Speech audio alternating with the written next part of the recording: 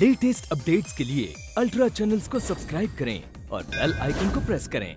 आइए भगवान बद्री विशाल का स्मरण करें। पवन मंद सुगंध शीतल, हेम मंदिर शोभितम।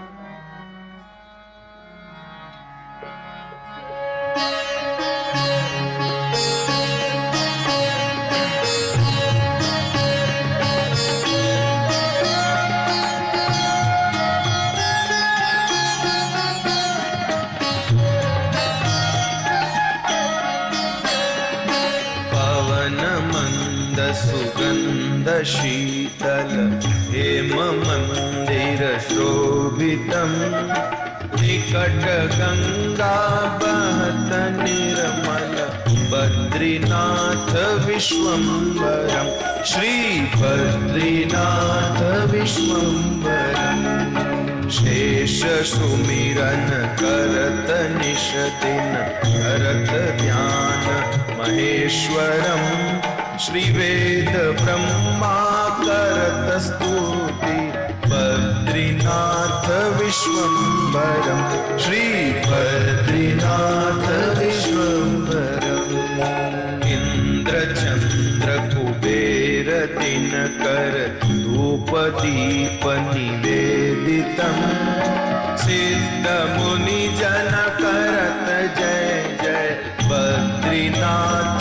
बद्रीनाथ विश्वम्बरम। श्री बद्रीनाथ विश्वम्बरम शक्ति गौरी गणेश शारद नारद मुनि उच्चारणम। योग ध्यान अपार लीला बद्रीनाथ विश्वम्बरम श्री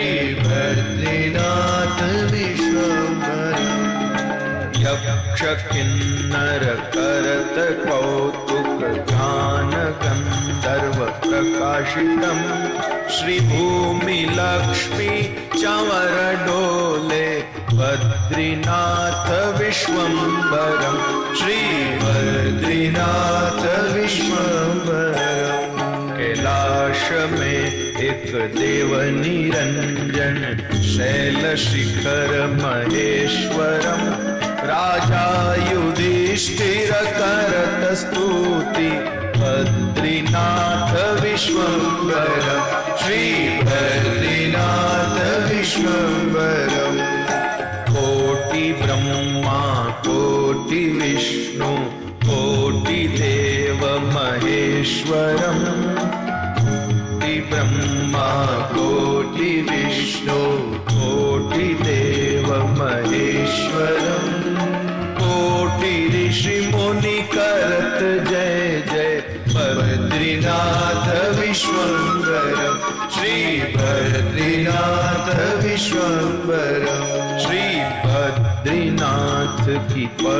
स्तुति पड़त पाप विनाशनम। कोटि तीर्थ सुपुण्य सुंदर सहज अति फलदायकम।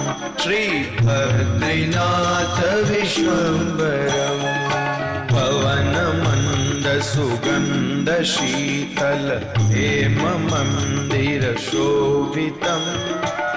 निकट गंगा बहत निर्मल बद्रीनाथ विश्वम्बर श्री बद्रीनाथ विश्वम्बर श्री बद्रीनाथ विश्वम्बर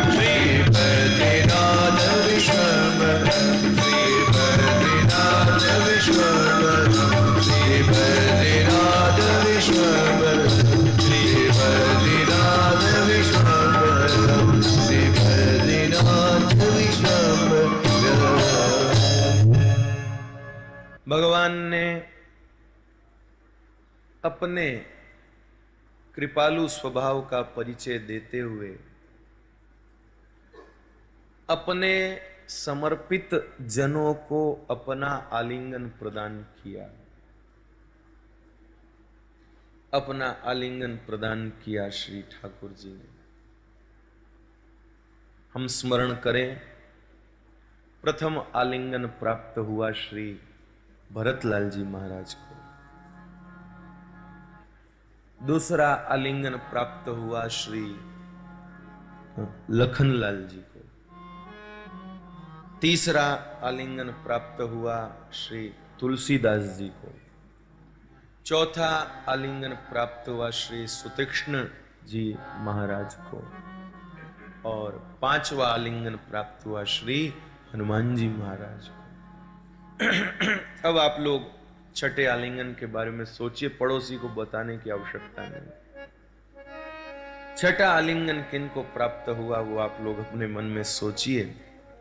मैं उनके बारे में कुछ बातें आप लोगों को बताता हूँ। वैसे तो आप सब चतुर हैं, सत्संग चतुर हैं, ज्ञान चतुर हैं, भक्ति में चतुर हैं, और मानस के सब स्वाध्यायी महानुभाव हैं आप सब लोग, इसलिए आपकी कल्पना में होगा निश्चित रूप से। लेकिन फिर भी मेरा मन रखने के लिए सुनिए, प्रभु। छठा आलिंगन एक ऐसे महापुरुष को प्राप्त हुआ, जिसने आलिंगन छोड़ करके सन्मुख दर्शन की भी मन में कल्पना नहीं की थी। ठाकुर जी की कृपा का कुछ पता नहीं वो किस पे, कब हो जाए, कैसे हो जाए, क्या पता। न जाने कौन सी बातों पे ठाकुर रीझ जाते। पता नहीं भगवान कौन सी बात पे खुश हो जाते। कई बार हम किसी को प्रसन्न करने का लक्ष्य लेकर के जो चीज़ करते हैं, उस पर सामने वाला प्रसन्न नहीं होता।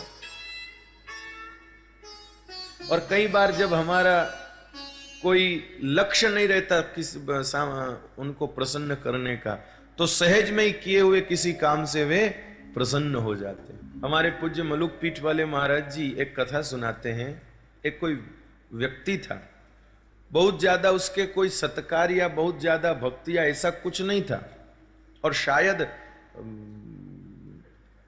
ऐसा ही था, कोई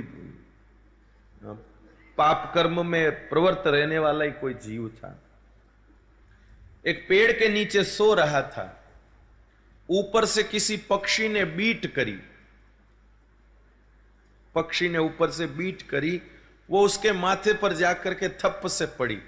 और जब माथे पर पड़ी तो वो तिलक जैसी आकृति बन गई। उसी समय योग से उसकी मृत्यु निकट आई थी। वो मरा तो सही वैकुंठ में गया। किसी ने पूछा कि महाराज, इसने ऐसा क्या सत्कार्य किया? भगवान ने कहा, इसने तिलक लगा रखा था। बोले, वो तो बीट पड़ी थी। बोले, बीट पड़ी थी, लेकिन तिलक की आकृति में थी, इसलिए इसकी मुक्ति हो गई इसको भगवान का बताए ये मनगणंत कहानी नहीं है, क्योंकि मन गणंत हो तो थोड़ा सा और कुछ मसाला इसमें डाला जाए। बाकी ये तो सोचा जा सकता है कि ये कौन से, ये कौन सा तुक हुआ? मेरे भाई बहन में आपको एक बात बताऊँ। सीधी सीधी जो कल्याण की बात बताते हैं तो कई लोगों को पचती नहीं है। तो सीधी सीधी जो कल्याण की बातें हैं, वो कई बार बहुत लोगों को नहीं पचती है। क्योंकि इतना आसान है कल्याण, ये किसी को समझता ही नहीं। अरे भाई, एक पक्षी ने बीट किया, वो बीट तिलक की आकृति में अंकित हो गया तो उसी पे कल्याण हो गया। प्राणनाथ। विश्वास है। विश्वास है मेरे भाई बहन करुणा निधान। महात्माओं की बात शास्त्र के संपुट में होती है। वो बिना आधार के नहीं होती है। और बाकी महात्मा अपने भाव से भी कुछ कह देता है तो भगवान उसके लिए आधार बना देते हैं।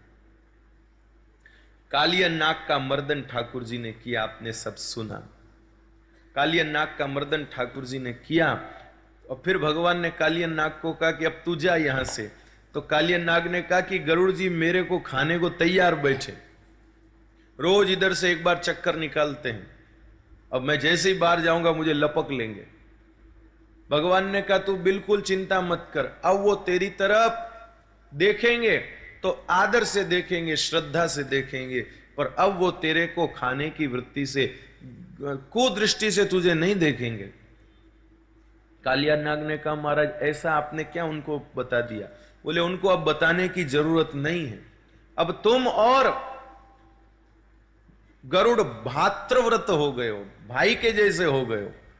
कालिया नाग ने कहा, महाराज, हम जन्म जन्म के बैरी, हम भाई जैसे कैसे हो गए?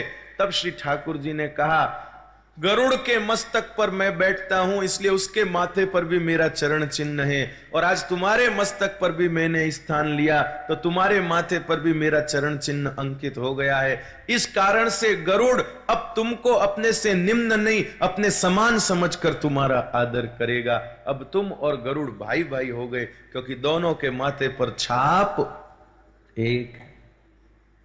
बताइए, ये चरण चिन्ह है। ये जो तिलक का निशान है, ये चरण चिन्ह है मेरे भाई। ये भगवान के चरणों का चिन्ह है। और चरण पाँव कहाँ लगाने पड़ते? देखो, गाड़ी का सबसे महत्वपूर्ण भाग होता है ब्रेक। अगर ब्रेक गड़बड़ हो तो गाड़ी कितनी बढ़िया हो भाई? अंदर बैठने वाला व्यक्ति सुरक्षित नहीं। लेकिन इतने महत्वपूर्ण गाड़ी के भाग को आप हाथ से नहीं दबा सकते, पाँव से ही दबाना पड़ता है। तो ऐसा कोई नहीं, ब्रेक है उसको पाँव से ही दबाना पड़ता है। ऐसे ही हमारी भी जो इंद्रियाँ हैं, इनका ब्रेक माथे में है, मस्तिष्क में है। दोनों भों के बीच में जो आज्ञा चक्र है हमारा, वहाँ पर वो अपने इंद्रियों का ब्रेक सिस्टम है। लेकिन वहाँ तक अपना पाँव कैसे पहुँचे, बताओ?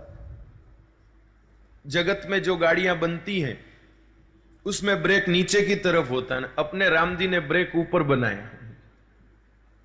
तो अब यहाँ ऊपर तक अपना पाँव नहीं पहुँच सकता और अपना पाँव ऊपर पहुँचे भी, अपना पाँव ऊपर पहुँचे भी तो भी मेरे भाई बहन हमें नहीं पता कहाँ ब्रेक लगाना है। हम तो चाहते बस गाड़ी स्पीड से चलती रहे, हमें ब्रेक लगाने की नहीं सोचती। यह विवेक तो भगवान को ही।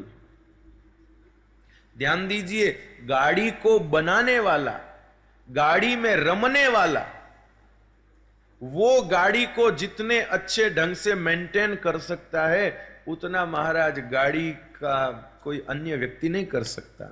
तो इन इंद्रियों के निर्माता तो श्री ठाकुर जी हैं। इन इंद्रियों में प्राण तत्व के नाते से रमने वाले तो श्री ठाकुर जी है। वो इस जीवन रूपी गाड़ी को जैसा मेंटेन कर सकते हैं, जैसा कर सकते हैं, वैसा कोई अन्य नहीं कर सकते। इसलिए ब्रेक कहाँ लगाना है, कैब लगाना है, कैसे लगाना है, ये भी भगवान ही अच्छे से जानते हैं। इसलिए भक्त तिलक का चिन्ह करके ऐसा भाव करता है कि मेरी इंद्रियों का जो ब्रेक है, मेरे जीवन का जो ब्रेक है, वो यहाँ है और उसके ऊपर अब ठाकुर जी के चरण आ गए। अब जैसे ही मैं कुछ गलत करूँगा, अपने आप ब्रेक दबेगा, गाड़ी रुकेगी और मेरी रक्षा हो जाएगी। मेरे भाई बहन ऐसी तिलक की महिमा है। इसलिए हरिभक्तों, तिलक अपने माथे पर रोज लगाना चाहिए। बड़ा नहीं लगा सको तो कोई बात नहीं, एक छोटी सी बिंदी ही लगा ले। दोनों भावों के बीच में भाभी जी को भी अच्छा लगेगा, उनके जैसी लगाएँगे तो। अपना धर्म भी आज्ञा देता है। जिस संप्रदाय में आपको दीक्षा प्राप्त हुई हो, बने तो उस संप्रदाय का तिलक धारण कीजिए। उतना न बने आपसे तो कम से कम अपने माथे पर ठाकुर जी के चरणों का प्रसादी चंदन, प्रसादी कुमकुम तो ज़रूर लगाना चाहिए। मेरे भाई बहन जिनके पतिदेव भगवान के धाम पधार चुके हैं, वे भी चंदन का तो तिलक वो भी लगा सकती, उसमें कोई वो नहीं है। पर मस्तिष्क शून्य किसी को नहीं रखना चाहिए, माथे पर ज़रूर कुछ न कुछ धारण करना चाहिए मेरे भाई बहन सौभाग्यवती बहनों को अवश्य अपने मस्तिष्क पर सौभाग्य चिन्ह धारण करना चाहिए। भाइयों को भी अपने धर्म की सेवा के नाते अपने माथे पर भगवत प्रसादी चंदन, कुमकुम कोई भी हो, उसका तिलक धारण करना चाहिए। प्राणनाथ, बात चलती है जब अपना हम हिंदू हैं, हम हिंदू ऐसा घमंड करते हैं। बात चलती है जब ऐसा करते हैं। बाकी अपने दैनिक दिनचर्या में आप अपने धर्म के लिए क्या करते हैं, बताइए। अपने वेश को भी हमने कर लिया, परदेशियों जैसा। अपना आहार भी परदेशियों के जैसा कर लिया। खान पान, खान पीने का तरीका सब कम से कम कोई ना कोई माध्यम से तो अपने धर्म को जागृत रखिए अपने भीतर। और धर्म हमारी क्रियाओं से जागृत होगा। हम सिर्फ़ धर्म की चर्चाएँ करते रहेंगे, लेकिन हमारी क्रियाओं में धर्म नहीं आएगा। तो धर्म की सेवा कैसे होगी? आज मैं एक ऐसे भक्त को आप सबसे मिलाने जा रहा हूँ, जिनको छठा आलिंगन प्राप्त हुआ। सन्मुख दर्शन होंगे। भगवान के कवि मैं अपने सामने देखूँगा। ऐसा भी जिसकी कल्पना में नहीं था, उसको भगवान ने अपने गले लगाया। करुणा निधान भगवान को पूछा कि आपको उसमें ऐसे क्या गुण नज़र आए? ऐसी आपको उसमें क्या बड़ाई नज़र आई? भगवान ने कहा, उसने अपने मुँह से अपनी बड़ाई नहीं करी, मुझे उसमें यही बड़ाई नज़र आई। मेरे भाई, हम जब भी किसी विशिष्ट व्यक्ति से मिलते हैं तो चेष्टा करते हैं कि बात बात में हम खुद एक दो अपनी बड़ाई उनके आगे कर दे। खुद ही अपने मुँह से अपनी एक दो बड़ाई कर दे मेरे भाई बहन। ऐसा। कई लोग, लोगों को हमने ऐसा देखा। जब भी किसी बड़े आदमी से मिलेंगे, अपने से श्रेष्ठ, अपने से पूज्य या अपने से अधिक गुणी या अपने से अधिक प्रभावशाली, अपने से अधिक किसी प्रसिद्ध व्यक्ति से मिलेंगे तो बात करते करते, बात करते करते एक दो अपनी बड़ाई खुद अपने मुँह से कर देंगे। वो क्या बोलते हैं उसको? बायोडेटा बोलते हैं? क्या बोलते हैं?